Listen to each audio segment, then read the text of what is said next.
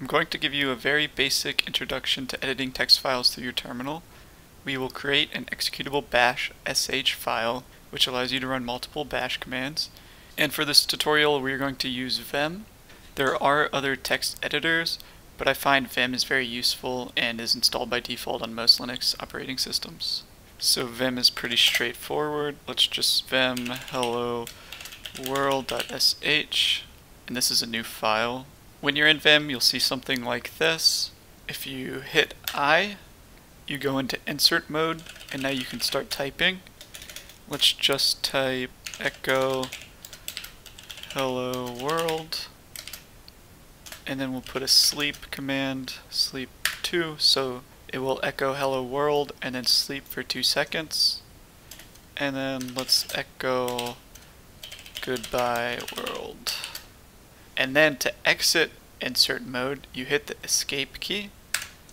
What you want to do is you want to hit the colon key, so shift colon key, and then W for save or write, and then Q for quit. So it's going to write and then quit.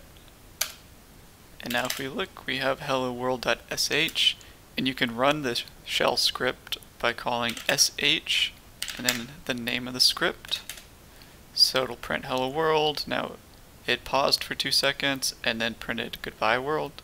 And instead of making new files, you can also use Vim to edit files that already exist. So again, we hit I to go into insert mode.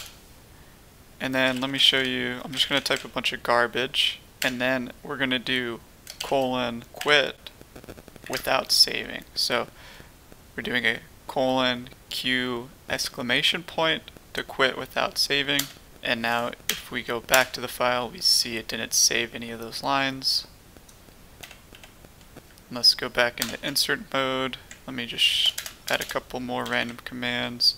Let's just make a new directory, make dir called files, and then let's just echo random text into files and we'll call the file word.txt.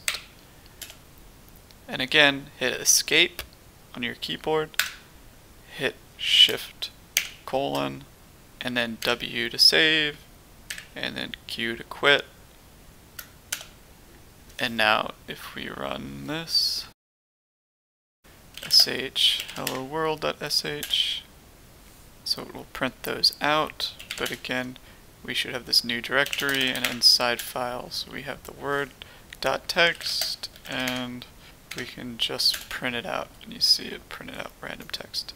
So that's the very basics of using Vim, and also I show you a very basic introduction into what a shell script is. It's just a useful way of putting multiple commands together into one file that you can save and run over and over again. And one more thing I wanted to make clear is that you can use Vim to make any kind of text file. It doesn't have to be a .sh. So we can do random .text, save, or we can just do random CSV .csv and make a CSV. It doesn't matter as long as it's a text file.